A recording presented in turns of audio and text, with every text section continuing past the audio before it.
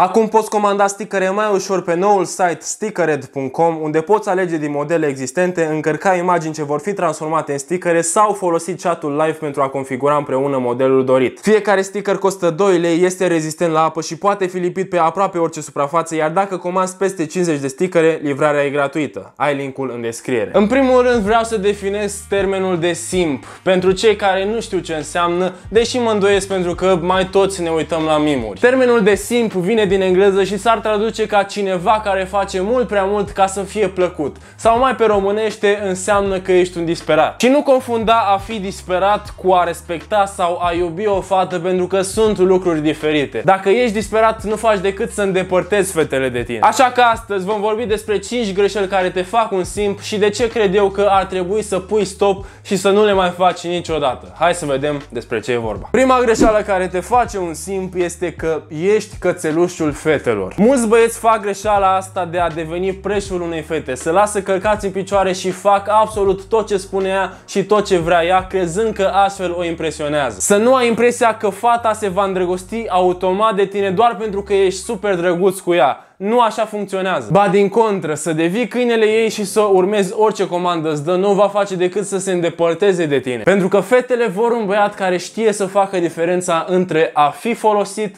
și a fi de folos. A fi folosit înseamnă că ea te folosește doar pentru propriul său interes. Fie că vrea să treacă peste o despărțire cu tine, fie că vrea să te folosească pentru că ai statut social și astfel îi va crește și ei statutul social. Iar a fi de folos înseamnă să o respecti, dar și ea să te respecte pe tine. Să construiți ceva frumos împreună și să vă ajutați reciproc. A doua greșeală care te face un disperat este că ai impresia că orice fată pe care o întâlnești e un înger. Uite, dacă ai impresia că toate fetele sunt niște zeițe, sunt o rasă superioară bărbaților, vreau să își ștergi imediat această idee din cap. Și nu spun asta ca să denigrezi fetele. Și fetele au același potențial de a fi oribile, la fel ca băieții. Și ele pot înșela, și ele te pot minți, și ele te pot folosi. Băieții fără experiență tind să se intimideze în preajma fetelor. Îți spun, nu mai tremura când te afli în preajma fetelor, mai ales în preajma celor frumoase, care e adevărat sunt mai intimidante, dar și ele sunt tot oameni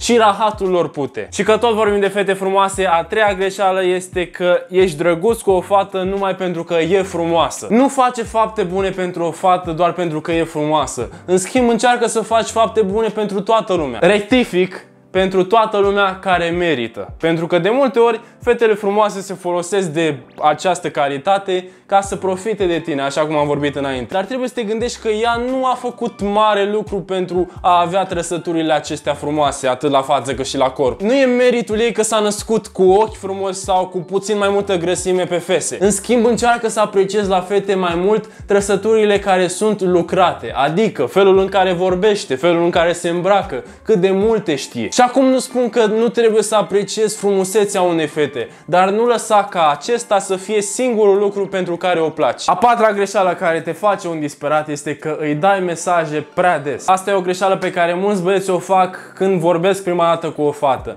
Dacă nici măcar nu v-ați văzut încă, las-o mai ușor. Știu că tu vrei să meargă cât mai repede, să-i dai mesaj, să ieșiți, după care să fiți împreună și așa mai departe. Dar nu funcționează așa, trebuie să ai răbdare. Nici o fată nu va ieși cu tine din prima zi în care îi dai mesaj. Și în final, a cincea greșeală pe care o faci, care te face un simp, este că crezi că ea e aleasa. Ascultă, în perioada asta a adolescenței o să întâlnești multe persoane care sunt temporare.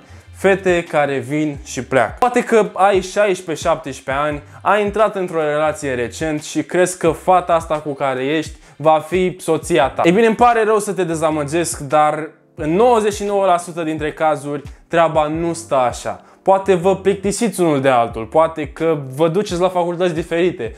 Fie că vrei sau că nu vrei, drumurile voastre inevitabil se vor despărți. Sunt foarte, foarte, foarte puține cazurile în care un cuplu care s-a întâlnit în perioada liceului va ajunge să formeze o căsnicie. Așa că, la vârsta asta, nu mai privi orice fată cu care ești ca fiind aleasa. În schimb, încearcă să te bucuri de moment, de momentele frumoase și să capeți experiența. Da, oameni, acesta a fost videoclipul de azi. Dacă v-a plăcut și v-a fost de ajutor, vă rog frumos să-l distribuiți mai departe, să vă abonați, bineînțeles, dacă n-ați făcut-o, să lăsați un like și să-mi dați un follow la AD Advice pe Instagram, unde puteți, bineînțeles, să-mi adresați orice fel de întrebare legată de viața voastră personală, iar eu voi încerca să vă ajut. De asemenea, dacă ai o problemă urgentă și ai nevoie de ajutor, poți apăsa butonul alătură de mai jos și vei primi numărul meu de telefon unde mă poți suna sau îmi poți trimite mesaj și îți voi răspunde în aceea zi, spre deosebire de Instagram, unde răspund cam la 2-3 săptămâni. Și acestea fiind spuse, eu am fost Advice sau Eddie și până data viitoare nu uita, pune E un reușită, nu un rateu. Pa, pa!